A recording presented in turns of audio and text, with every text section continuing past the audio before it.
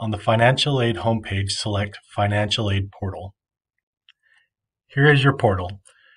From the dashboard, you can see an overview of your portal with quick links to your financial aid offers and needed documents.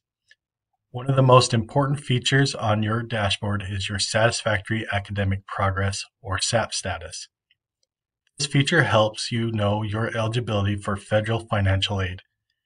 To maintain eligibility, you must have at least a 2.0 GPA and a 67% completion rate of all courses required for your major.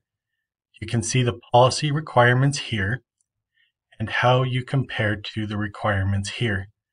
You will not have any information on this screen until after you complete your first semester. The Financial Aid tab shows your declared program and the academic year for your awards. The academic year can be adjusted from the current year to future or past semesters. Also in this tab, you can see the amount of credits you are registered for and how many of those credits are program applicable, meaning applicable towards your declared major. If your credits are not program applicable, they will not be eligible for federal aid, but you can still receive university and private scholarships for those credits. On the screen, you will also be able to view any awards you have been offered, including Pell Grants, BYUI grants, and any other scholarships. You will also be able to see your loan offers. Subsidized loans must be accepted before any unsubsidized loans can be accepted. Hit review and update to accept or decline the loans. You can accept the full gross amount or a specific amount.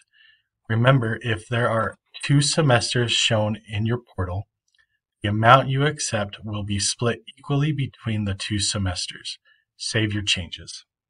Clicking Documents will take you to a list of documents we need from you in order to process and offer your aid. This screen will always default to the documents currently needed. This screen shows verification documents we are requesting. Clicking Review and Update will provide directions and information directly from our verification team. If you are accepting loans for the first time, you must complete two loan requirements, direct loan entrance counseling and the master promissory note, before your loans can be released to you. These requirements must be completed on studentaid.gov.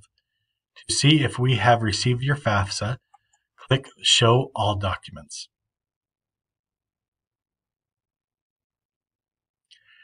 Clicking the Communications tab will bring you up past emails generated from our system including missing documents emails, award letters, and SAP warning and suspension emails.